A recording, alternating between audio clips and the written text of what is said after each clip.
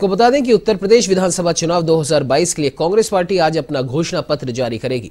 Party की महासचिव प्रियंका गांधी वाड्रा कांग्रेस के प्रदेश मुख्यालय पर उन्नति विधान नाम से इस घोषणा पत्र को जारी करेंगी। इस घोषणा पत्र में पार्टी ने प्रदेश की तरक्की का खाका खींचा है। तो वही घोषणा पत्र के ज़रिए कांग्रेस छत्तीसगढ़ में अपनाए गए प्रयोगों को उत्तर प्रदेश में दोहराने की भी कोशिश करेगी। इससे पहले कांग्रेस महिला और युवाओं के लिए अलग अलग घोषणा पत्र जारी कर चुकी है। आपको बता दें कि महँगाई, बेरोजगारी और किसानों की समस्याओं को लेकर कांग्रेस काफ़ी मुखर रही है। कांग्रेस उत्तर प्रदेश चुनाव को लेकर अपने घोषणा पत्र में इन्हीं समस्याओं से निजात दिलाने के लिए कुछ वादे कर सकती है। तो वहीं इससे पहले पार्टी की ओर से किसानों को धान और गेहूँ का समर्थन मूल्य ढाई हज़ार रुपए प्रति क्विंटल देने की घोषणा की जा चुकी है।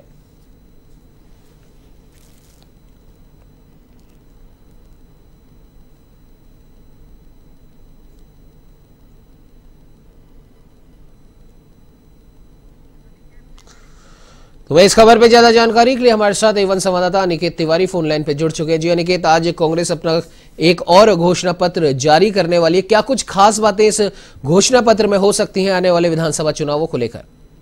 उमंग देखिए, अगर घोषणा पत्र की बात की जाए तो भारतीय जनता पार्टी का और या समाजवादी पार्टी का घोषणा पत्र हो। दोनों ही पार्टी घोषणा पत्र सामने आ चुके हैं।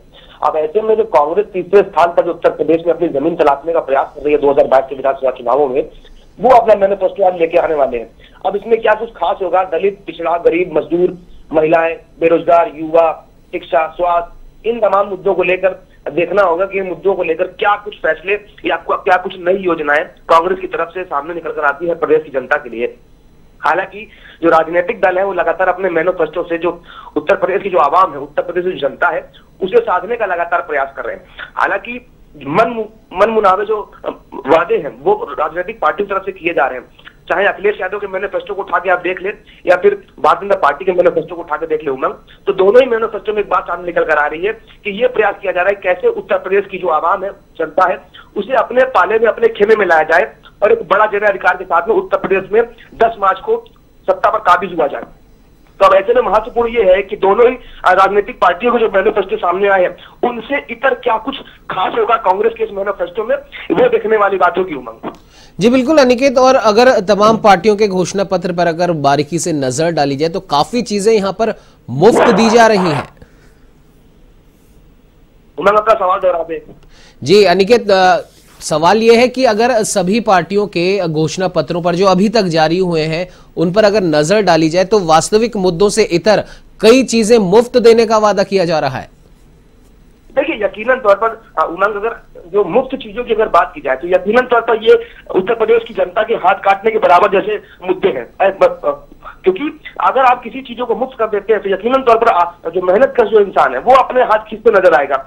जैसा कि अखिलेश यादव के मैंने सचिव बात किया तो उन्होंने बात कही कि उत्तर प्रदेश में जो जनता है उसे पेट्रोल मुफ़्त देंगे प्रतिमा। तो इस तरीके के जो वादे हैं, ये लोक लुभावने वादे तो ज़रूर हो सकते हैं। लेकिन ये धरातल पर उतारना बड़ी बड़ी पेचीदा बात होगी। और ऐसे ही पेंशन योजना की अगर बात की जाए, उमंग, जो अखिलेश यादव ने कहा था कि पुरानी पेंशन योजना को बहाल किया जाएगा, जिससे 12 लाख लोग प्रभावित हैं तो वो भी एक बड़ा मुद्दा है। उसको किस तरह से धरातल पर उतारेंगे अखिलेश यादव, वो भी एक बड़ी बात, वो भी एक बड़ा पेच है। तो ऐसे जो मुद्दे हैं, ऐसे जो जो मैनोफेस्टो में जो चीज़ें शामिल की गई हैं, उन्हें मैनोफेस्टो में कागजों में तो शामिल कर लिया गया है, लेकिन उन्हें धरातल पर कितना ज़मीन दे पाएँगे राजनीतिक दल, वो बेहद खास होगा। हालाँकि अब चुनाव है, ऐसे में जनता को साधना है, और बीजेपी मज़बूत और प्रबल दावेदारी में उत्तर प्रदेश में है और मज़बूत रेस में चल रही है। अब ऐसे समाजवादी पार्टी में लगातार करारी शिकत देने का प्रयास ज़रूर कर रहे हैं और यही कारण है, जो वादे हैं, जो जनता को जो लुभाने का जो प्रयास है, वो लगातार संकल्प पत्रों के माध्यम से सामने देखने को मिल रहा है जी, बिल्कुल अनिकेत, हमारे साथ जुड़ने के लिए तमाम जानकारी साझा करने के लिए आपका बहुत बहुत धन्यवाद।